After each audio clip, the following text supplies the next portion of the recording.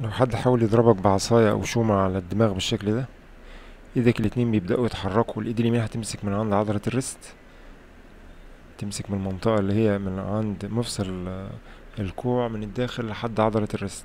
أي مكان من هنا والإيد الشمال هيكون الكفة طالعة لبره بالشكل ده هتكون الصوابع كلها طالعة بالشكل ده عشان الإيد الشمال دي هتلف الدراع بالشكل ده. أهو. إيد اليمين بقى هتخلص مهمتها من هنا هتسيب من هنا خالص أهو. ايد اليمين هتسيب من هنا خالص وهتيجي عند مفصل الريست أو عند القبضة بتاعته وتتنيها بالشكل ده.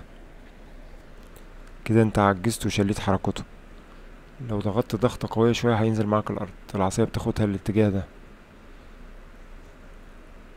من أفضل الحركات اللي ممكن تستخدمها لو حد حاول يضربك بشومة أو عصاية على الدماغ بالشكل ده. أول حاجة بتعملها إيدك الاتنين بيبدأوا يتحركوا.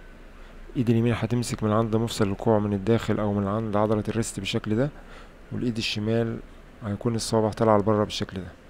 تعمل ضغط قوي على مفصل الريست والعصاية دي بتاخدها لتحت مينفعش تاخدها لفوق ومينفعش تشدها. هي كده بتخلص نفسها وبتطلع لوحدها. كده بتحل من اعصاب ايده اهو. انت بتضغط الع- العصاية بتطلع لوحدها لأن انت بتعمل شلل في الاعصاب بتاعت ايده.